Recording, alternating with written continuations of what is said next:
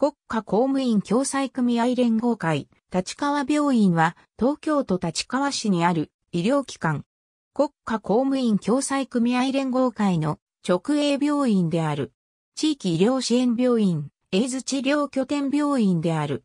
病院の理念は質の高い、思いやりのある医療を実践する。慶応義塾大学病院の関連病院である。1944年2月11日に東京第二陸軍共済病院として開院した。院長他幹部は陸軍出身だが、医師については慶応義塾大学医学部に派遣要請をした。慶応義塾大学からの派遣は戦後も続き、現在に至るまで慶応義塾大学との関連が深い。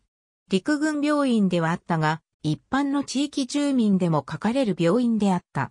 1945年4月4日の空襲により、薬品倉庫等が消失し、複数の看護師が死亡するなど、相当の被害を受けた。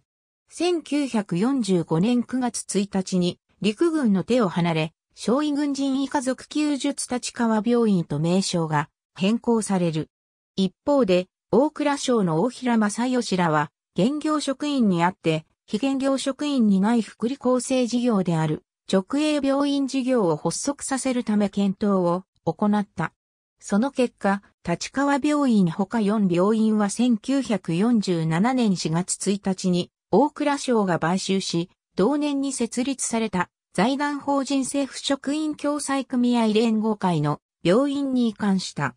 病院は一般病床、結核病床、伝染病床で構成され、診療科目は内科、外科、小児科、産婦人科、耳鼻咽喉科、皮膚科、泌尿器科、眼科、理学療法科の休科であった。病院は4月1日を創立記念日とした。初代院長は陸軍共済病院時代の院長名になっているが、実際には院長はそれ以前に辞職しており、不在の状態であった。1947年10月15日に、慶応義塾大学教授であった石田二郎が着任し、正式にトップが決まった。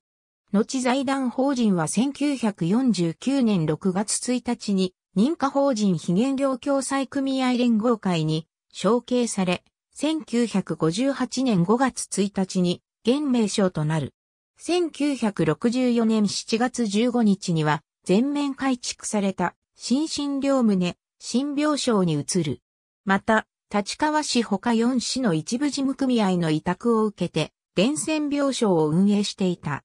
医療従事者の人材育成として看護師養成のため、1952年4月に付属立川高等看護学院を設置し、2000年3月の閉校まで運営した。また1971年4月1日、臨床研修病院に指定されるなど、早くから医師の人材育成にも取り組んでいる。2015年3月旧本館が老朽化し、南病棟、東病棟など分散した施設を集約するため、西側臨地に9階建ての新棟を建設することとし、着工。2017年7月新棟竣工、新病院オープン。なお、新棟移転後に、東側臨地にある旧南病棟、東病棟等を解体し、その敷地を財務省へ返還する予定。2018年2月旧診療棟を別館としてリニューアルオープン、検診センター等が入る。2018年10月別館南側にロータリーを新設。路線バスが乗り入れを開始。立川バスは2018年10月16日から別館南側に新設されたロータリーに乗り入れを開始した。ただし、クルリンバスキンルート、立川駅、南口行きは従前からのバス停を引き続き使用している。ありがとうございます。